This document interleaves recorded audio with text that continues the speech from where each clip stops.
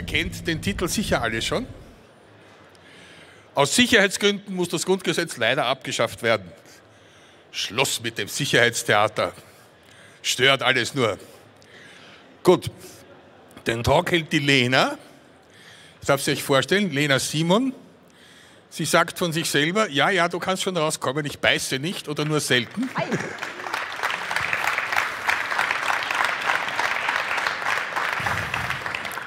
Lena sagt von sich selber, sie ist Netzphilosophin. Das darf sich jetzt jeder anfühlen mit dem, was er glaubt, dass da hineingehört. Oder mit dem, was du uns jetzt gleich erzählen wirst, nehme ich an. Ja? Okay, dann ja, sag mal, wo du herkommst, Digital Courage und so aus der Gegend, aus dem Eck. Alles total unpolitisch. Ja? Völlig un unpolitisch. Völlig unpolitisch, ja. ja. Gut. Okay, ja, sie gehören dir. Drei, zwei. Ich möchte einen großen Applaus für Lena, bitte. Danke.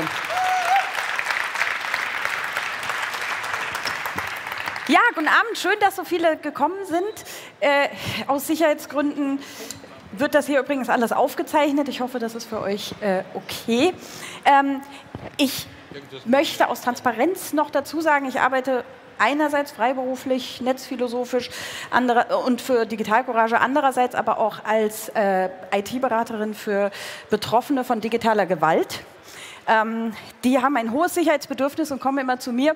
Und deswegen habe ich da mit der Sicherheit auch so äh, meine, mein Thema, aber setze mich natürlich sehr viel für Datenschutz ein. Ähm, ich denke, ihr seid hier, weil ihr alle irgendwie schon mal mit diesem aus Sicherheitsgründen, mit dieser Begründung zu tun hattet. Und äh, ich hoffe, dass sie euch genauso nervt wie mich. Und eine meiner Tätigkeiten als Netzphilosophin ist es, ähm, euch Argumentationshilfen an die Hand zu geben. Und das möchte ich heute tun, denn äh, ich glaube nicht, dass ich euch noch groß überzeugen muss, dass Sicherheitstheater uns nicht sicherer macht.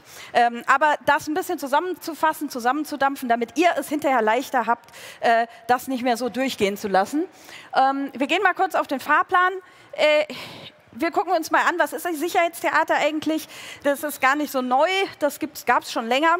Ähm, und dann haben wir eben diese drei Hauptargumente gegen äh, dieses ganze Sicherheitsgedöns. Ähm, zwei Hauptargumente. Ich war, ja, mal sehen. Äh, ich, wär, ich, bin gespannt, wie die Folien weitergehen. Ähm, und dann, ach, zwei Hauptargumente und dann kommt natürlich noch die Frage, ähm, was ist eigentlich echte Sicherheit? Was bräuchten wir eigentlich wirklich? Und das ist mein heimliches drittes Hauptargument, weil ich nämlich sage, dass ähm, die Leute, die über diese echte Sicherheit nicht sprechen, sondern immer nur das Sicherheitstheater besprechen, die haben eigentlich überhaupt kein Anrecht zu behaupten, dass es ihnen um Sicherheit ginge. Und darum geht es dann. Und dann müssen wir natürlich aus Sicherheitsgründen noch ein kleines Spielchen spielen. Äh, und ich hoffe, dass da alle kräftig mitmachen. Fangen wir an. Sicherheitstheater. Äh, naja, eigentlich ist es immer dann, äh, haben wir das immer dann, wenn, es, äh, wenn, wir eine Rechtfertigung für Grundrechtseingriffe brauchen, äh, die Repression äh, bedeutet. Also und dabei eben völlig außer Acht gelassen werden wird, dass unsere Grundrechte ja etwas sind, was uns sicher macht. Das heißt, Eingriffe in die Grundrechte durchaus eine Gefahr bedeuten. Ähm, dabei passiert etwas, was in der Politik gerne mal passiert. Äh, es wird popularisiert. Äh, und in diesem Fall wird der Wunsch nach Sicherheit, der ja durchaus äh, berechtigt ist und durchaus ein, ein, ein, sinnvolles Anliegen ist, wird instrumentalisiert und ähm, gleichzeitig äh, werden dann irgendwelche falschen Sicherheitsmaßnahmen äh, beschlossen und äh, letztlich werden wir dadurch aber eigentlich eher unsicher. Was dann gerne passiert ist, dass man Repressionen Überwachung, also dass der Staat übergriffig wird, als äh, Sicherheit hinstellt. Und da werden wir aber nachher zu kommen, dass das eben gar nicht stimmt. Und was dann noch die Krönung des Eisbergs an der Geschichte ist, ist, dass ja, man hat dann ja kräftig was getan und legt dann ein beruhigtes Gewissen auf ein völlig ungelöstes Problem, denn echte Sicherheitspolitik unterbleibt. Ähm, und dann gibt es noch diesen Punkt, Punkt, mit der gefühlten Sicherheit, auf die gehe ich dann nochmal später ein. Das ist nämlich irgendwie mittlerweile das Hauptthema, äh, worauf sich Sicherheitspolitik überhaupt bezieht. Ähm, ja, starten wir mal mit dem ersten Argument. Ich soll hier nicht aus der Linie gehen. Mhm. Repression ist nämlich gar keine Sicherheit, sondern im Gegenteil, sie macht uns unsicher. Ähm, sie hilft nicht. Es ist eigentlich nichts anderes als ein Placebo, beziehungsweise eigentlich ist es sogar noch schlimmer als ein Placebo, weil der Placebo-Effekt wirkt ja, während sehr viele von diesen Sicherheitsmaßnahmen, die da äh, angeblich die Sicherheit erhöhen, äh, gar nichts besser machen. Ähm, das, Pro das Pro Problem bleibt ungelöst und äh, es wird Betriebsamkeit vorgetäuscht, aber es, wird, es geschieht nichts. Ähm, und dann haben wir eben diesen wunderschönen Effekt mit, äh, de, de, man sagt dann, ja, aber Videoüberwachung ist doch so super, ähm, weil äh, das äh, ist ja präventiv. Und es ist aber so diese Sache, wer, wer eine kriminelle, kriminelle Handlung plant, äh, oder gewalttätig sein plant, der sorgt vor, der weiß, wie er sich davor schützen kann, dabei gefilmt zu werden oder auf eine andere Art überwacht zu werden. Das heißt, das Einzige, was wir äh, damit irgendwie erwischen können, sind äh, Taten, die aus dem Affekt geschehen. Aber Taten, die aus dem Affekt geschehen, äh, werden durch äh, solche Überwachungsmaßnahmen gar nicht verhindert, weil die passieren nämlich trotzdem. Und von daher ist erstmal so die Feststellung, anlasslose Überwachung hilft uns gar nicht, macht uns jedenfalls nicht sicherer. Ähm, nächster Punkt, ähm, Überwachung selbst hat aber gefährliche Wirkungen. Ähm, für alle, die vielleicht mal äh, jugendlich waren und erwachsen geworden sind, man hat plötzlich so Geheimnisse vor den Eltern. Das ist so ein ganz wichtiger Moment, wo man so feststellt, ich bin anders als meine Eltern. Und im Nachhinein denkt man sich, ach, was waren das für harmlose Geheimnisse, die ich hatte. Aber ich, die waren mir damals wichtig. Und das hängt damit zusammen, dass Geheimnisse Teil meiner Identitätsfindung sind. Und Geheimnisse in einer Gesellschaft zu haben, ist eine wichtige Sache. Das merken spätestens, und da komme ich jetzt zu dem Grund, warum wir hier im Themenbereich äh, Antirassismus unterwegs sind. Ähm, wenn man nämlich gegen rechts äh, das Wort ergreift, dann stellt man plötzlich fest, dass Geheimnisse ziemlich wichtig sind. Das ist mir spätestens aufgefallen, als ich auf so einer Doxing-Liste von Nazis auftauchte mit meiner Adresse. Und die Vorstellung, dass jemand irgendwie zu meiner Haustür kommt und weiß, wo ich wohne, was ja eigentlich erstmal so eine harmlos scheinende Information ist, die ist auf einmal gar nicht mehr so schön. Und äh, wenn ich mir dann noch vorstelle oder dann noch bewusst mache, dass zum Beispiel bei der Polizei einige Nazis unterwegs sind und dass es da ja auch schon Leaks gegeben hat, wo Informationen weitergegeben wurden, dann bin ich doch auf der äh, Ebene äh, gelandet, wo ich sage, ich bin dadurch sicherer, dass möglichst wenige Daten über mich äh, kursieren. Ähm, wir haben äh, zum Beispiel, äh, ach genau, ha, Zero-Day-Exploits. Ich weiß nicht, wem, wie viel ich es hier erklären muss. Ich erkläre es einfach trotzdem mal. Äh, das ist was, was gemacht wird, ähm, um den Staatstrojaner einführen zu können. Der Staat kauft Sicherheitslücken, also kauft Informationen über Sicherheitslücken und zwar nicht, um die dann zu schließen, wie man ja vielleicht meinen würde, sondern um die selber auszunutzen, nämlich seine eigenen Bürgerinnen und Bürger äh, ausspionieren zu können. Und zwar nämlich aus Sicherheitsgründen, ja, natürlich. Äh, aber Sicherheitslücken offen lassen aus Sicherheitsgründen, da wird es doch schon langsam ziemlich abstrus. Und äh, das ist auch was, was mir zum Beispiel in meiner Sprechstunde tatsächlich begegnet, dass mich Frauen ansprechen und sagen, also ich bin im Frauenberatungszentrum, da kommen nur Frauen. Ähm, äh, und sagen, ja, aber diese, diese Daten, äh, diese, diese Lücken, diese Sicherheitslücken, die die Bundesregierung da nutzt, die sind doch dann auch auf meinem Handy drauf und ähm, äh, jetzt benutzt das vielleicht äh, mein Stalker. Und, äh, und, genau das könnte der Fall sein, weil in dem Moment, wo ich eine Sicherheitslücke offen lasse und sogar noch dazu beitrage, dass sie offen bleibt, äh, wird sie nicht geschlossen und auch andere können sie nutzen, selbst wenn der Staat mich nicht ausspioniert. Also Systeme mit Backdoor äh, sind einfach unsicher und uns das als Sicherheit zu verkaufen, ist eine ziemliche Frechheit. Und dann kommt's noch, gibt es noch dieses wunderbare Argument, das ist auch gestern schon gefallen in einem äh, Talk über äh, die Polizeigesetze. Äh, wer den nicht gesehen hat, äh, unbedingt angucken. Ähm, wenn ich mir dann vorstelle, diese ganzen, diese ganzen Überwachungsmaßnahmen und Repressionsmaßnahmen, die wir so langsam nach und nach aufbauen, in den letzten zehn Jahren ist es ziemlich viel gewesen, äh, kommt aber auch, äh, ging ja auch davor schon los, wenn die plötzlich alle in den Händen von Despoten oder von Faschisten landen, dann sind wir alles andere als sicher.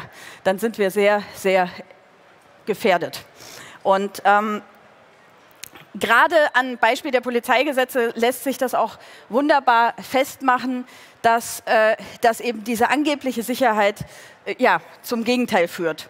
Und das ist wirklich für mich der, einer der größten Gruselfaktoren, mir zu überlegen, ja gut, okay, jetzt haben die in der Bundesregierung vielleicht noch gar nicht so die Ahnung, was sie damit alles anfangen können, aber äh, das kann sich eben ändern. Und soweit sollten wir es eigentlich einfach gar nicht erst kommen lassen. Ähm, wir haben noch einen weiteren Grund, weshalb Repression und Sicherheit nicht gleichsetzbar sind. Und zwar ein ganz wichtiger, Freiheit und Demokratie sind einfach mal der größte Garant für unsere Sicherheit. Ähm, das, ist, das fängt erstmal ganz äh, simpel an. Im Rechtsstaat kann ich mich darauf verlassen, dass ich nicht einfach auf der Straße aufgegriffen werde, weil irgendwie meine Haarfarbe nicht stimmt oder weil ich irgendwie äh, das falsche Lied gesungen habe, sondern es gibt äh, klare Regeln, nach denen ich mich orientieren kann und ähm, auf die ich mich weitgehend verlassen kann. Das heißt, das ist jetzt eine große Klammer, weil es gibt natürlich mittlerweile schon einige Situationen, die passiert sind, wo man sich fragt, wo ist denn da der Rechtsstaat geblieben? Und genau das ist eben das Problem, dass wir, dass wir im Moment auch genau diese Verlässlichkeit untergraben. Beispiel Polizeigesetze, nein, Polizeigesetze sollt ihr euch im Stream angucken. Beispiel Prostituiertenschutzgesetz, da haben wir schon wieder den Schutz drin. Ähm, ich weiß gar nicht, ob das so vielen Leuten klar ist, aber es gibt da drin so eine Klausel, wenn ich, ähm, wenn es den Verdacht gibt, dass ich in meiner Wohnung der Sexarbeit nachgehe, dann darf die Polizei meine Wohnung betreten ohne Durchsuchungsbefehl. Das heißt, die Unverletzlichkeit der Wohnung, Rechtsstaat, die, eine Sache, auf die ich mich eigentlich bisher verlassen habe, ist damit unterhöhlt. Ähm, weil es braucht nur einen ja, eifersüchtigen Ex-Freund oder irgendeinen Nachbarn, der sich wundert, dass ich ab und zu mal verschiedene männlichen Besuch habe oder der sich über irgendwas ärgert, weil ich den Müll zur falschen Zeit rausgestellt habe oder so. Und der äußert dann diesen Verdacht. Und auf einmal gilt das Grundrecht der Unverletzlichkeit der Wohnung für mich nicht mehr. Ähm, und da haben wir eben genau das Problem, dass äh, diese angeblichen Sicherheitsmaßnahmen äh, uns mich zum Beispiel äh, zutiefst verunsichern. Und übrigens, das könnte alle Frauen und ja auch Männer äh, treffen, die Sache. Das ist nicht nur, das schützt nicht nur die Prostituierten, äh, dieses Gesetz. Das macht uns, bringt uns alle in Gefahr. Ähm, wenn ich jetzt mal so dran denke, ohne Freiheit, ohne äh, äh, die Rechtsstaatlichkeit, ohne die Demokratie, die wir jetzt haben, ähm, früher im Feudalsystem hätte mir vielleicht mein Lehnsherr gesagt, du bist noch nicht krank, du musst noch weiterarbeiten und zum Arzt darfst du sowieso nicht. Heute darf ich selber entscheiden, wen ich heirate, was ich arbeite, zu welchem Arzt ich gehe, wann ich zum Arzt gehe und wo ich wohne. Und das sind alles Dinge, die meine Sicherheit erhöhen. Denn wenn ich autonom sowas entscheiden kann, habe ich die Dinge in der Hand. Und dann ähm, kann ich auch selber entscheiden, in wie viel Sicherheit ich mich, Unsicherheit ich mich begeben möchte oder nicht. Und dann gibt es noch diesen Chilling-Effekt, äh, den äh, wir auch immer wieder, von dem wir auch immer wieder oft reden, in dem einfach klar ist, äh, der, der besagt, dass äh, Menschen, die sich überwacht fühlen, äh, ihr Verhalten anpassen und nicht mehr so gerne äh, aus der Norm fallen. Und aber also Ausstellungsstück A äh, für, dafür, was es bedeutet, dass Leute sich mal trauen, aus der Norm zu fallen. Habt ihr hier, äh, schaut euch um, äh, überall. Äh, das ist das, wovor, wovon Impulse ausgehen und das ist das, wovon äh, Veränderung ausgeht. Und in dem Moment, wo ich mich nicht mehr, äh, wo ich nur noch von Leuten umgeben bin, die sich auch nicht trauen, ähm, für mich Partei zu ergreifen, weil sie alle nur noch geradeaus gehen, ähm, ist das auch nicht gerade förderlich für meine Sicherheit. Und dann haben wir natürlich noch das äh, ganze große Thema der Manipulierbarkeit. Äh, wenn man mich gut kennt und gut ausspioniert hat, hm, dann weiß man natürlich auch, wie man meine Knöpfe drücken kann, wie man mich dazu kriegt, für den Brexit zu stimmen ähm, oder äh, irgendwelche komischen Präsidenten. Naja, haben wir hier ja nicht die Wahl, den Präsidenten zu wählen. Aber Manipulierbarkeit durch äh, Überwachung ist natürlich auch eine Riesengefahr und auch da äh, die, wirkt die Überwachung nicht äh, für unsere Sicherheit, sondern eher dagegen. Dann gibt es noch den einen ganz wichtigen Punkt, äh, diese ganze, dieses ganze Konstrukt der Grundrechte und der, äh, des Staates. Das ist ja, ähm, also im Grundrecht, im, im Grundgesetz steht als ganz am Anfang die Menschenwürde unantastbar, sie zu achten und zu schützen. Ist Grundlage jeder staatlichen Gewalt achten und schützen. In dieser Reihenfolge. Also die Menschenwürde muss in erster Linie geachtet werden. Ich füge da jetzt einfach mal frech noch die Freiheit hinzu. Menschenwürde und Freiheit müssen geachtet werden und im zweiten Schritt auch geschützt. Aber was wir nicht haben, ist ein Recht auf Sicherheit, also auf körperliche Unversehrtheit oder sowas. Ähm, es geht nämlich darum, dass äh, die Grundrechte Abwehrrechte gegen den Staat sind. Also es geht darum, dass der Staat nicht übergriffig uns gegenüber wird, aber der Staat ist gar nicht so sehr verpflichtet, uns vor Dritten zu schützen. Ähm, das wird einem auch in dem Moment klar, wenn man sich bewusst macht, wann äh, die, das Grundgesetz geschrieben worden ist und von wem und in welchen äh, Zusammenhängen. Ähm, kann mal jemand äh, Hände hoch? Wer, wer weiß denn mehr als zwei Leute, die das, äh, die, die Grundrechte geschrieben haben, das Grundgesetz? Zwei? Mehr, mehr als zwei? Uh, ich sehe insgesamt zwei Hände. Ähm, drei Hände sehe ich. Äh, das ist mal ziemlich erschreckend, weil also jetzt so in der Schulzeit, wenn man da ein Buch gelesen hat, musste man sich mit dem Autoren immer schrecklich ausführlich auseinandersetzen. Wann hat er gelebt? Was hat den motiviert? Äh, und warum hat er so geschrieben, wie er geschrieben hat? Ähm, aber wer eigentlich die Väter und Mütter unseres Grundgesetzes sind, haben wir nicht erfahren. Also ich habe in der Schule, wir haben da ein bisschen die Paragraphen durchgeblättert und das war's.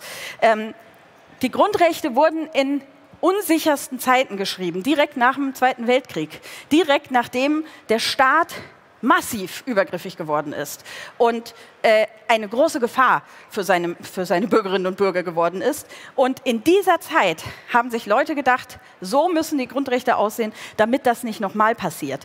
Das ist das oberste Ziel der Grundrechte gewesen. Und vor, vor dem Hintergrund ist es ein bisschen erstaunlich, dass wir, die wir ja jetzt in einem der sichersten Zeitalter, zumindest auf diesem Fleck der Erde, in einem der sichersten Länder diese, dieses Planeten leben, dass wir uns die ganze Zeit so ins Hemd machen und die ganze Zeit so in der, im Sicherheitswahn versinken und Panik haben. Ähm, denn das die Diktatur und die Willkürherrschaft der Nazis, das ist das, wovor wir Angst haben sollten. Das ist das, wo wir darauf aufpassen sollten, dass wir da nicht wieder hinkommen.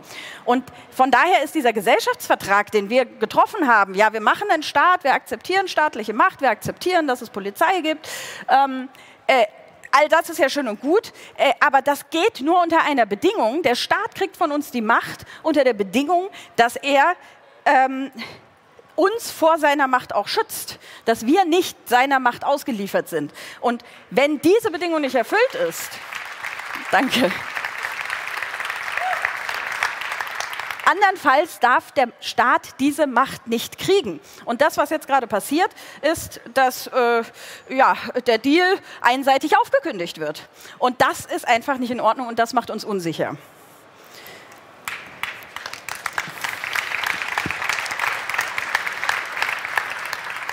Ich habe dazu ein bisschen äh, Lesestoffempfehlung, äh, weil ich wirklich finde, dass die, Bi die, Biografie des Grundgesetzes eine spannende Geschichte ist, die uns sehr viel erzählt und die uns auch sehr viel klar macht. Na, nachdem ich das Buch von Christian Bomarius gelesen habe, ähm, habe ich doch noch mal ein ganz anderes Verhältnis zu den, äh, äh, zum Grundgesetz gekriegt. Und da wir das in der Schule leider nicht so ganz vermittelt bekommen, habe ich es jetzt mal hier groß hingestellt. Falls hier Lehrerinnen und Lehrer sind oder Menschen, die äh, ähm, Lehrpläne Pläne schreiben, äh, das wäre eine gute Idee. So, und wo wir gerade bei Büchern sind, komme ich gleich mit dem nächsten. Äh, und zwar beim Punkt, den ihr bestimmt auch alle schon bis zum Erbrechen gehört habt. Freiheit versus Sicherheit. Man muss da doch abwägen. Ohne Sicherheit keine Freiheit. Ähm, und dann muss man doch das eine einschränken, um das andere zu kriegen. Es gibt ja diese, man hat diese äh, Transpis auch schon oft auf Demos gesehen. Freiheit stirbt mit Sicherheit. Oder äh, das Benjamin Franklin zugeordnete Zitat. Äh, Wer Freiheit für Sicherheit aufgibt, wird am Ende beides verlieren. Hm. Christoph Möllers hat genau da auf diesem Punkt nochmal den Finger in die Wunde gelegt. Und weil er das so schön gemacht hat, schöner als, also so schön auf den Punkt bringt, erspare ich euch jetzt einfach nicht dieses komplette, also aus Sicherheitsgründen letztlich, äh, müsst ihr euch jetzt das gesamte Zitat anschauen. Ich habe es ein kleines bisschen gekürzt, auch aus Sicherheitsgründen. Ähm, Sicherheit und Freiheit lassen sich in der Demokratie nicht gegeneinander abwägen. Das ist eine Kategorienverwechslung. Freiheit gibt es nur innerhalb eines gewissen Grades an Unsicherheit. Die passen gar nicht auf eine Ebene. Ähm, und deswegen sagt er weiter, wenn wir bestimmte Unsicherheiten nicht mehr ertragen wollen, können wir demokratisch entscheiden, was wir tun. Aber diese Entscheidung beruht nicht auf einer Abwägung zwischen Sicherheit und Freiheit, sondern auf einer Abwägung zwischen verschiedenen Arten, ein freies Leben zu führen. Also Freiheit gegen Freiheit können wir abwägen. Und was macht uns freier und welche Freiheit wollen wir haben? Wir aber werden Sicherheit nicht als Selbstzweck anstreben, sondern als ein Mittel, um unsere Freiheit zu ermöglichen. Sicherheit ist das Mittel und nicht der Gegenpart zur Freiheit. Wir beschränken.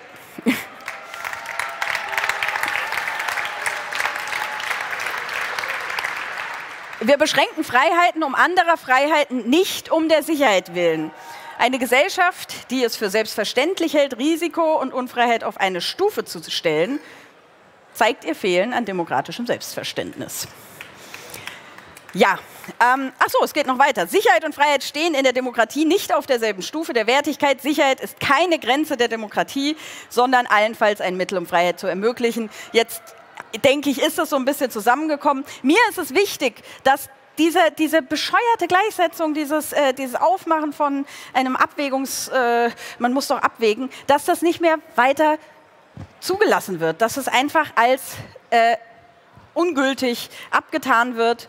Und ähm, dafür habt ihr jetzt hoffentlich alle die Mittel. Im Zweifel müsst ihr das nochmal nachher nochmal nachlesen.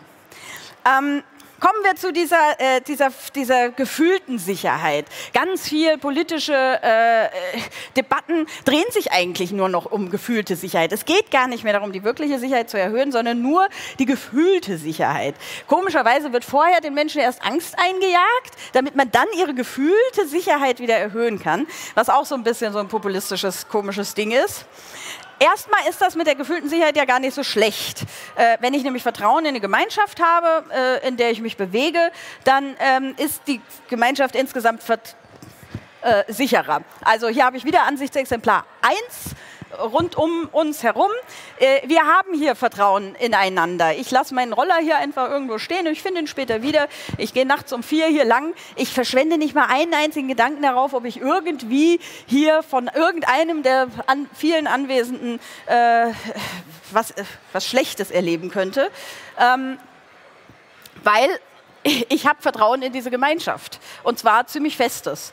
Und dadurch bewege ich mich freier und entspannter und äh, reagiere vielleicht auch nicht so hektisch und bin dadurch auch tatsächlich sicherer. Unsere Gemeinschaft hier ist sehr sicher, weil wir einander vertrauen. Von daher ist es erstmal gar nicht so falsch von der Politik, auch auf die gefühlte Sicherheit einzugehen und auch zu versuchen, die gefühlte Sicherheit zu erhöhen, weil das tatsächlich die Wirkung hat, die Sicherheit insgesamt zu erhöhen. Hm. Aber was jetzt passiert, ist ja, dass eigentlich alles nur noch sich um die gefühlte Sicherheit dreht. Und als alleinige Lösung ist das ein großes Problem. Ähm, es ist eine sehr einfache populistische Position. Das heißt, äh, vor allen Dingen diejenigen bedienen sich derer, die äh, mal schnell eine einfache Erklärung brauchen oder was Einfaches brauchen, um irgendwie Wählerstimmen zu sammeln. Denn leider zieht es tatsächlich. Ähm, aber es ist eine zu einfache Position. Und vor allen Dingen ist es ein leeres Versprechen. Und leere Versprechen untergraben das Vertrauen. Jetzt mal als Beispiel, äh, hier Breitscheidsplatz, Am Amri. Ähm, Im Moment ist ja alles irgendwie gerade völlig offen, was da eigentlich genau passiert ist. Was wir aber wissen, ist, dass kurze Zeit später jemand erschossen wurde. Und laut äh, verkündet wurde, wir haben den Täter gefunden. Und so, jetzt drei Jahre später, wissen wir eigentlich gar nicht, ob der das wirklich war. Ähm, naja, und was kommt dabei heraus? Zum einen könnte es durchaus sein, dass der wahre Täter da immer noch frei rumläuft. Das ist nicht sonderlich vertrauenerweckend. Und zum anderen, äh, wenn, wenn da eben mal eben schnell einer abgeknallt wird, wer sagt mir denn, dass ich nicht das nächste Mal diejenige bin, äh, die äh, abgeknallt wird, äh, nur damit die gefühlte Sicherheit im Land erhöht werden kann? Ähm, ich bin weiß, von daher äh, äh, werde ich wahrscheinlich nicht diejenige sein, die abgeknallt wird. Man muss da schon wahrscheinlich dem entspre entsprechenden Profil entsprechen. Und das ist noch viel schlimmer an der Geschichte, weil das heißt einfach, dass manche Leute mehr Sicherheit kriegen als andere und äh, mehr Vertrauen in die Gesellschaft haben als andere und das ist eine Unverschämtheit.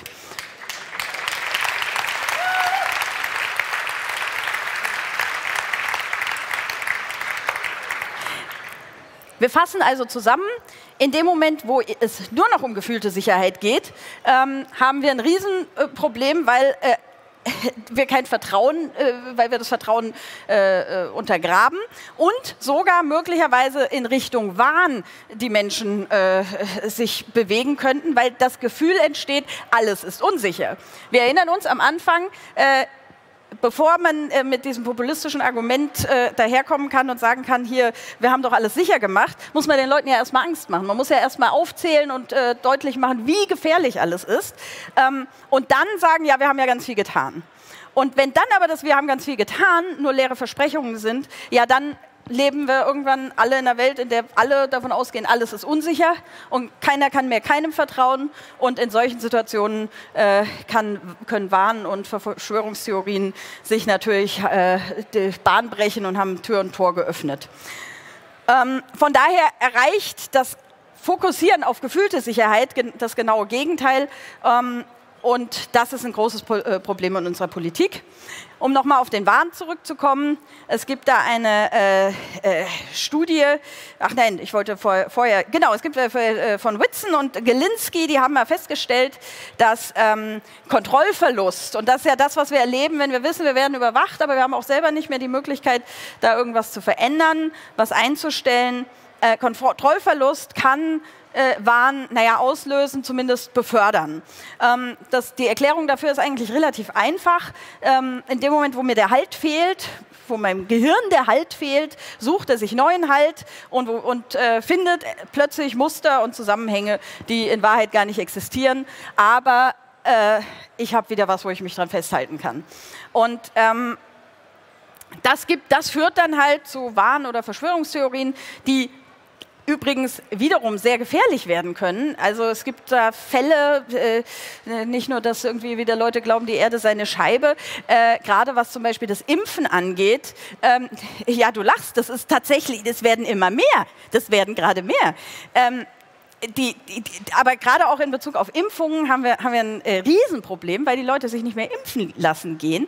Und das hat im asiatischen Raum schon fatale Folgen gehabt, weil irgendein Video äh, angebliche Nebenwirkungen von äh, Gebärmutterhalskrebsimpfung gezeigt hat, die, die null, keinerlei Nebenwirkungen hat, ähm, ist da die Impfrate in den also von einer, von einer relativ hohen Zahl in den Keller gegangen. Und das äh, ist eine große Gefahr. Also Verschwörungstheorien machen uns unsicher. Ähm, und auch die kleine Schwester davon, die Hypervigilanz, die ich vor allen Dingen in meinen Beratungsstunden häufig habe. Das, also Hypervigilanz heißt äh, Überaufmerksamkeit. Das passiert eben in so, einem in so, einer Situation, wo man schon einen Anlass hatte, wo es schon irgendeinen Grund gibt zu vermuten, dass irgendwas komisch ist mit meinem Gerät äh, zum Beispiel. Ähm, und ich dann nicht mehr auseinanderhalten kann, ob dieses Icon sich deswegen verändert hat, weil ich halt ein Systemupdate gemacht habe und sich manchmal Icons verändern oder äh, weil mich jemand gehackt hat. Äh. Und das Ganze erklärt sich ganz schön anhand von dem Heider-Simmel-Experiment.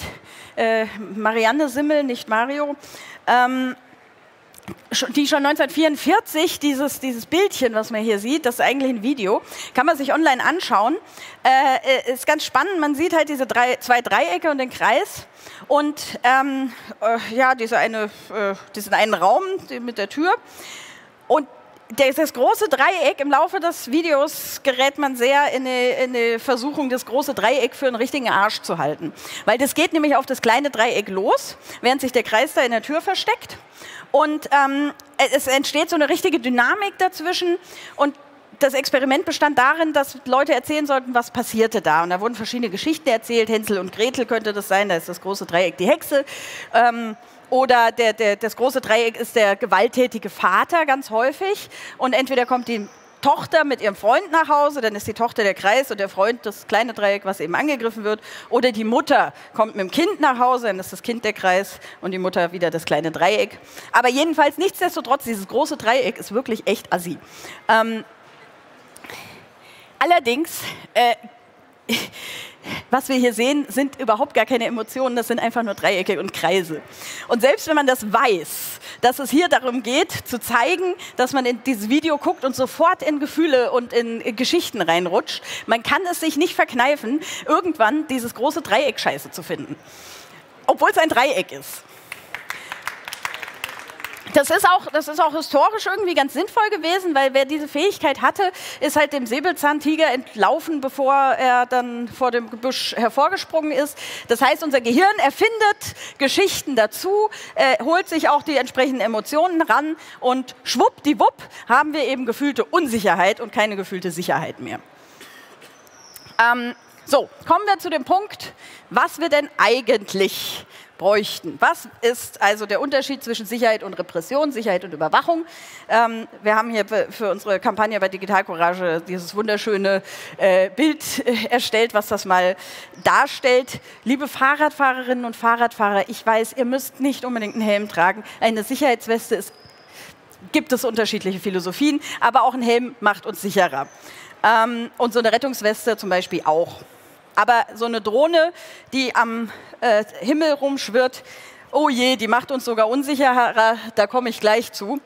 Ähm, was könnten wir denn alles machen, wenn es uns wirklich um Sicherheit geht? Wenn wir wirklich jetzt die Sicherheit erhöhen wollen, was können wir machen? Fangen wir mal so mit den basalen Sachen an. Grundrechte und Frieden. Frieden macht uns immer sicherer, oder? Die Grundrechte haben wir schon gesagt. Ähm, sollten wir also stärken.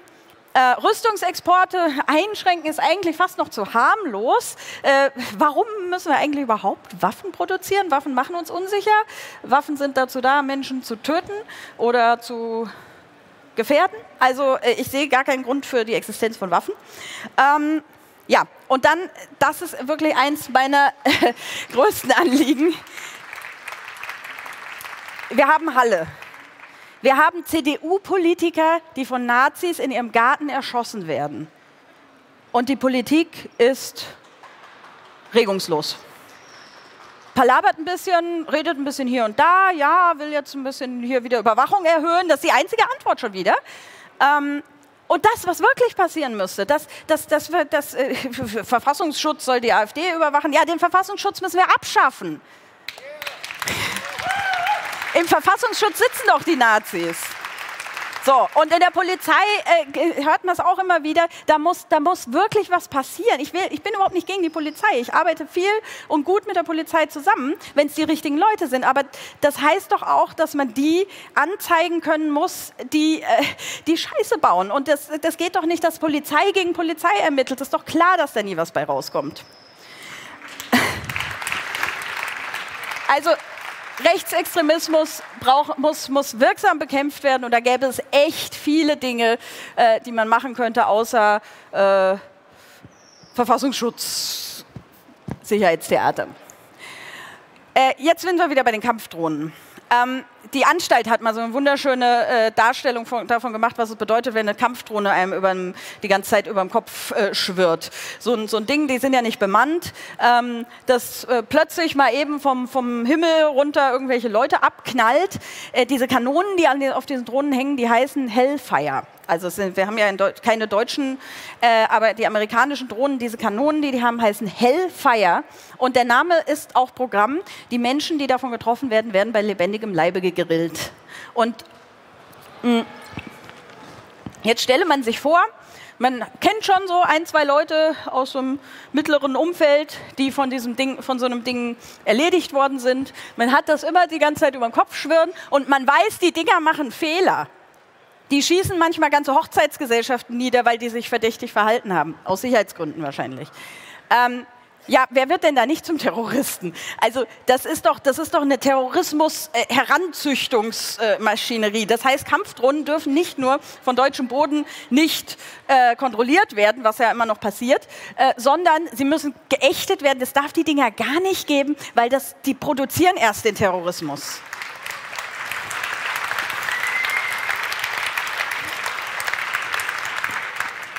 Ah ja, haben wir auch noch ein schönes Thema, Umwelt und Klima. Ja, wer ersäuft, der lebt nicht wirklich sicher, wenn der Meeresspiegel steigt und äh, wir kein Essen mehr haben, äh, weil äh, die Ernten vertrocknen und äh, Erdbeben und was wir nicht alles äh, durch den Klimawandel ähm, zu erwarten haben. Äh, ich, ich, denke, ich denke, Klimaretten wäre eine echt super Sicherheitsmaßnahme. Auch da passiert viel zu wenig. Kohleausstieg, äh, Atomausstieg, ja, wer im Atom, äh, in der Nähe von einem atomar strahlenden, äh, havarierten Atomkraftwerk äh, lebt, ja, der lebt auch nicht sonderlich sicher. Ähm, und äh, Bienen äh, muss ich doch jetzt mal kurz noch erwähnen, weil ohne Essen und Obst und äh, Gemüse, also Obst, braucht man für Gemüse Bienen? Nein, Obst braucht Bienen. Aber wir brauchen Bienen, um zu essen und um zu leben. Und auch das könnte durchaus unsere Sicherheit erhöhen. Also Umweltschutz allgemein wäre echt eine verdammt gute Idee für, äh, äh für, die, für die Sicherheits, äh, eine schöne Sicherheitsmaßnahme. Auch soziale Sicherheit, da ist ja endlich wenigstens das Wort Sicherheit mal wieder drin vor, äh, ist ein ganz wichtiges Thema. Wer sich seine Wohnung nicht mehr leisten kann und auf der Straße lebt, der lebt auch nicht mehr sonderlich sicher. Äh, also irgendwie, wer, wer, die ganze Zeit fürchten muss, äh, äh in, in, in, Schulden zu ertrinken und sich deswegen zum Beispiel erpressen, äh, äh leichter erpressbar wird. Ähm, also da gibt es sehr viele Szenarien, warum soziale Sicherheit eine ganz schön wichtige Angelegenheit ist. Ähm, äh, ja, und dann kommen wir natürlich noch zur emotionalen Sicherheit. Suizid ist immer noch eine der höchsten, größten äh, Todesgründe in Deutschland. Ähm, Beratungsstellen würden da Abhilfe tun. Ich arbeite in einer Beratungsstelle nicht zu diesem Thema, aber ich weiß, wie sehr äh, wir alle irgendwie am Geld knapsen und äh, überall gucken müssen, wie wir irgendwie zurechtkommen. Überall fehlen Leute. Ähm, äh, da äh, könnte man eine Menge tun für die Sicherheit der Menschen und auch zum Beispiel in der Täterberatung ähm, die sehr erfolgreich darin ist, zu verhindern, dass Leute äh, überhaupt oder nochmal gewalttätig werden. Und äh, das, ist, das ist auch eine sehr wichtige Geschichte. Äh, Gerade psychologische Beratung ist einfach sehr, also ich, ich kenne Leute, die warten ein Jahr lang auf einen Termin beim Psychologen und das kann es einfach nicht sein. Ähm, die Frauenhäuser schreien aus allen Himmelsrichtungen, dass sie, äh, dass sie das, die Nachfrage nicht erfüllen können. Es gibt immer wieder Frauen, die, wir, äh, die in großer Gefahr sind, äh, die keinen Platz im Frauenhaus kriegen. Äh, auch da müsste, es auf, müß, müsste eigentlich viel mehr investiert werden. Und zwar eben nicht nur in den Städten, sondern auch im, auf dem Land. Und dann gibt es eben noch diese Projekte zur Gewaltprävention wie das Violence Prevention Network oder eben auch solche Geschichten wie Exit, die Menschen helfen, aus dem rechtsradikalen Milieu wieder rauszukommen, die irrsinnig wichtige Arbeit tun und die zwar jetzt doch nicht die Gelder gestrichen bekommen haben, äh, aber fast. Da wurde, wird immer wieder darüber diskutiert. Also auch die leben nicht auf sicherem Fuß und auch eigentlich müssten die eigentlich viel mehr kriegen, als die ganze Zeit darum fürchten müssen, die Gelder gestrichen zu kriegen. Bildung in einem Land, in dem wir uns, äh, in dem die Menschen gebildet sind, leben wir auch sicherer. Äh, vor allen Dingen, wenn die Leute verstehen, warum Demokratie und äh, Grundrechte eine wichtige Sache sind ähm, und Freundlichkeit und warum das so hilft. Ähm, in dem Moment, wo Menschen eine Perspektive haben und alleine zurechtkommen und Vertrauen in sich selber haben können, werden sie vielleicht auch weniger verzweifelt und äh, die Wahrscheinlichkeit sinkt auch, dass sie irgendeinen Scheiß bauen. Ähm, und deswegen ist es eigentlich eine gute Idee, schon den Kindern beizubringen, selber zu denken und nicht so unbedingt auswendig zu lernen. Und jetzt kommen wir zu den IT-Kompetenzen, weil die finde ich besonders wichtig. Äh, ich habe so oft, ich habe so dermaßen oft Leute in meiner Beratung, die einfach von Tuten und Blasen keine Ahnung haben, aber jetzt durch digitale Gewalt betroffen sind und, äh, und jetzt gar nicht wissen, was sie überhaupt machen sollen. Und die fühlen sich massiv unsicher. Ähm, was aber passiert ist, naja, was wir anbieten können, äh, ja auch aus der jetzt jetzt Kryptopartys, digitale Selbstverteidigung, äh, ist Schutz vor, äh, naja, Schutz vor den Datenkraken, vor denen die sammeln, vor denen die mit dem großen Arm alles einsacken, was es so gibt. Da kann man mit Verschlüsselung und so hier und da ganz gut was machen. Ähm, aber Schutz vor direkten One-on-One-Angriffen gibt es eigentlich im privaten Raum quasi nicht. Das gibt es für IT-Firmen. IT-Firmen machen dann auch schöne Werbung und sagen, hier, wie surfe ich sicher davon. Ähm, aber für, im Privatraum ist da zumindest bezahlbar quasi kein Angebot da. Ich schmeiße jetzt mal ein Gerücht in den Raum. Äh, ich behaupte, ich bin die einzige IT-Beraterin zum Thema digitale Gewalt. Ich hoffe, dass ich falsch liege. Falls da draußen irgendwo jemand ist, der auch in der Beratungsstelle arbeitet zum Thema digitale Gewalt, IT-Beratung macht, ich würde mich sehr, sehr gerne vernetzen und ich suche euch. Meldet euch bei mir bitte, ja?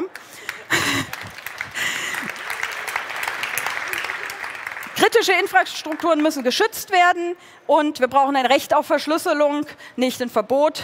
Äh, Backdoors in Technik äh, machen uns gefährlich und ja, Schulung und Beratung auch kostenlos, auch für die, die sich noch mit gar nichts auskennen, weil IT-Sicherheit äh, wäre echt ein großes Thema und das gibt so viele Menschen, die das noch überhaupt nicht auf dem Schirm haben. Hm. Hm. Fahrradfahren. Ja, ich würde gerne in Berlin Fahrrad fahren, ich traue es mich nicht, ich habe echt Angst. Äh, auch da könnte man die Sicherheit erhöhen, eine ernsthafte Verkehrswende herbeiführen. Ich gehe jetzt mal ein bisschen schneller drüber, weil... Ähm, das ist ja alles ganz offensichtlich, würde ich sagen. Tempolimits. Äh, da wird schon seit Jahrzehnten Maha und Kai Biermann haben irgendwie gerade auch äh, vor zwei Tagen im Vortrag das, das Thema Tempolimits gehabt. Wird schon sehr lange darüber diskutiert, aber nie gemacht. Würde aber sehr enorm die Sicherheit erhöhen. Da gibt es sogar Studien zu. Und quasi jedes Land in Europa macht das schon, außer Deutschland. Naja, da ist auf einmal die Sicherheit nicht mehr so wichtig. Wahrscheinlich aus Sicherheitsgründen. Wasserversorgung, ich will ja euch nicht auf Ideen bringen, aber ähm, die ist irgendwie ziemlich ungesichert. Und wenn da jemand auf einen dummen Gedanken käme, das wäre zum Beispiel auch gar nicht so gut. Ähm, ach ja, und dann kommen wir zur Gesundheitspolitik. Da könnte man auch sehr, sehr viel machen, was die Sicherheit erhöht. Ich habe eine sehr liebe Angehörige, die beinahe an so einem multiresistenten Keim gestorben wäre. Ähm, und das ist, das ist eine richtig miese Geschichte. Äh, aber derweil füttern wir die Antibiotika an äh, irgendwelche Schweine und armen Tiere, die unter, weil, weil sie unter Bedingungen gehalten werden, in denen man nur krank werden kann. Ähm, und gleichzeitig lohnt es sich aber auch nicht mehr, an den neuen Antibiotika weiter zu forschen, weil das äh, rentiert sich nicht. Das heißt, wir müssen irgendwie das Gesundheitsthema entprivatisieren, dass es nicht mehr darum geht, was sich rentiert, sondern was wir brauchen. Ähm, und äh, Antibiotika in Tierzucht verbieten. Mit Drogen, ähm, ja, Aufklärung bringt mehr Sicherheit als Verbote. Und wenn wir die Beschaffungskriminalität nicht hätten, wäre auch nicht schlecht. Ähm, ja, und wenn ich keine Hebamme finde, um mein Kind auf die Welt zu bringen, dann lebe ich auch nicht so sicher. So, wir haben das mal überschlagen. Ich mache das sehr schnell. Ich weiß nicht, ob ihr da mitrechnen könnt. Es ist aber auch eine Milchbübchenrechnung. Von daher äh, rechnet nicht zu genau nach. Wir sind keine Forscher in dem Sinne, wir haben nur das genommen, was wir zur Verfügung hatten. Und da steht, dass es zwei, etwa 240.000 Menschen pro Jahr an allen möglichen Dingen sterben, auf die ich, von denen ich gerade gesprochen habe, die man so, an denen man was tun könnte.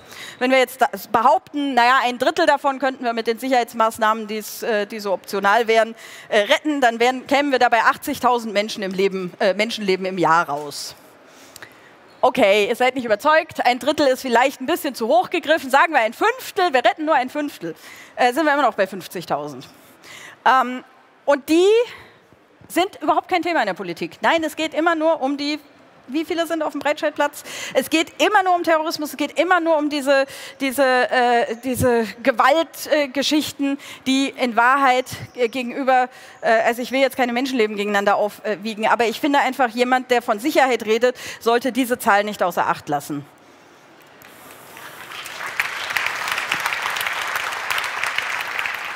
Wer das nachrechnen möchte, und ich bitte darum, weil wie gesagt, wir sind dann jetzt nicht die Experten und es wäre ja richtig cool von einem Experten da eine äh, genaue Rechnung zu haben. Äh, die Quellen dazu, äh, die wir verwendet haben, stehen auf der Website von Digital Courage. Und jetzt kommen wir zum Spiel. Äh, ich muss mich auch beeilen, damit noch ein bisschen Zeit für Question und Answer bleibt.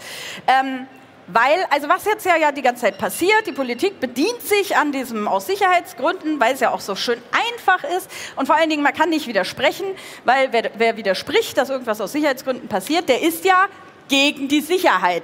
Ist zwar ein logischer Fehlschluss, der Inversionsfehler wird gerne gemacht, stört aber niemanden. Ähm, äh, wenn ich was aus Sicherheitsgründen mache, dann darf da keiner widersprechen. Und es passt erstaunlich oft. Und eine billige Begründung können wir doch eigentlich alle gut gebrauchen. Und was passiert, wenn man eine, eine Sache häufig verwendet, zu häufig verwendet, so richtig übertreibt? Ja, Inflation. Und deswegen werden wir das jetzt einfach, das ist unsere Lösung, inflationär gebrauchen. Das startet Ne, es hat schon auf dem Camp gestartet, aber es startet nochmal heute, jetzt und hier. Ähm, es können alle mitmachen und sich unter dem Hashtag aus Sicherheitsgründen äh, schöne Dinge ausdenken. Das darf fantasievoll, äh, äh, kreativ, lustig sein. Ähm, man kann aber auch eben genau Beispiele sammeln, wie die Polizeigesetze, wie das Prostitutionsschutzgesetz, äh, wie die neuen äh, Erschwerungen, äh, also wie Ausweisgedöns, Lichtbildausweis von Digitalcourage, der nimmt das ja auf den Arm auch. Ähm, wir können das Grundgesetz abschaffen oder ähm, äh, politische Reden verbieten aus Sicherheitsgründen. Oder, ähm, naja, das sind jetzt so die Aufkleber, die wir beim Digitalcourage-Stand haben. Ein paar habe ich auch dabei. Äh, hier. Und früh Feierabend machen können wir auch aus Sicherheitsgründen. Und äh, ja, das ist für Laptops ganz schön. Und wir haben auch extra einen Aufkleber, wo ihr sozusagen selber reinschreiben könnt, was ihr so alles aus Sicherheitsgründen wollt oder nicht. Und äh, ja, damit komme ich zum Ende, bevor wir zum, äh, noch eine Mühe Zeit für Fragen haben. Äh, aus Sicherheitsgründen habe ich entschieden, dass ich jetzt nicht gleich im Anschluss, ähm, äh, ich wollte nämlich anbieten, dass wir uns einfach, wer Lust hat, noch sich auszutauschen, am Digitalcourage-Stand treffen. Allerdings, und das ärgert mich doch sehr, ist direkt im Anschluss hier jetzt gleich äh, Pico und verliest den Ärger. Und den Ärger, den will ich doch auch sehen. Ähm, äh, ich habe zwar vergessen einzuwerfen, dass ich mich darüber ärgere, aber ähm, mein Vorschlag ist, wer noch Interesse hat, sich auszutauschen, kann mir entweder eine E-Mail schicken oder äh, mich übers äh, Fediverse oder von mir aus auch über Twitter erreichen. Ähm, ich habe die Decknummer 50, 70, 55 und ich bin auch einfach im Anschluss an Picos Vortrag am Digitalcourage-Stand zu finden und auch morgen wahrscheinlich im Laufe des Tages auch noch. Und dann freue ich mich auch über äh, Gedanken, Anregungen und äh, ja, bitte, aus Sicherheitsgründen bitte ich außerdem darum, diesen Vortrag nur positiv zu bewerten. Danke.